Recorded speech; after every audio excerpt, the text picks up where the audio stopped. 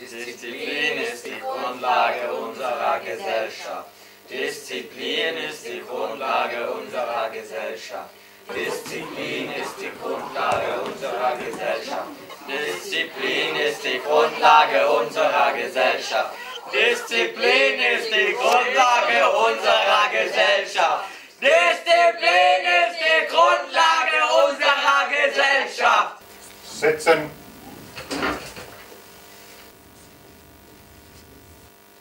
Jasmine. Warum müssen wir hier nachsitzen die bösen Schüler nicht? Die sind nicht mehr zu retten, aber bei euch gibt es vielleicht Hoffnung.